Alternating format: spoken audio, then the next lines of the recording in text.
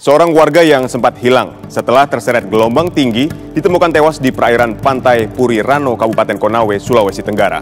Saat ombak menggulungnya, korban tengah memancing di pesisir pantai tersebut bersama tiga temannya.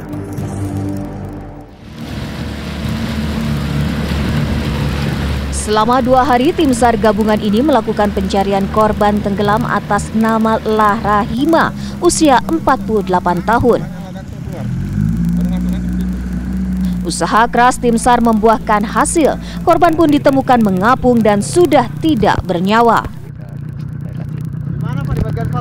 Selain itu, posisi korban juga sudah bergeser sejauh sekitar 1 km dari lokasi saat ia memancing.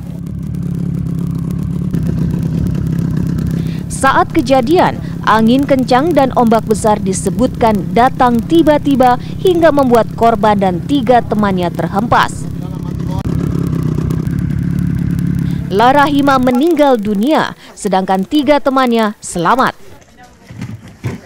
Tim SAR gabungan telah berhasil menemukan korban pada pukul 07.15 dengan jarak satu kurang lebih satu nautical mile dari LKK.